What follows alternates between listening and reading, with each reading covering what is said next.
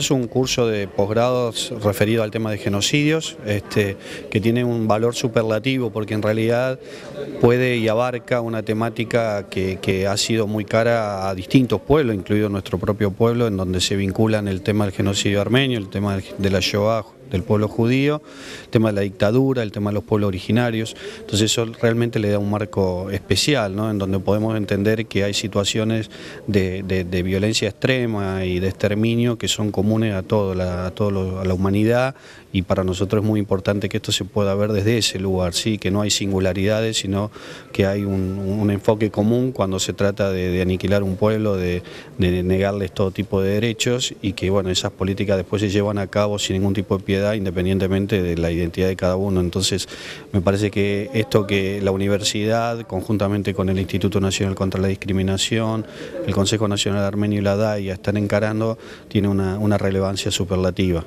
¿Cuál es la importancia de hacer hincapié en incorporar a la currícula educativa este tipo de temáticas?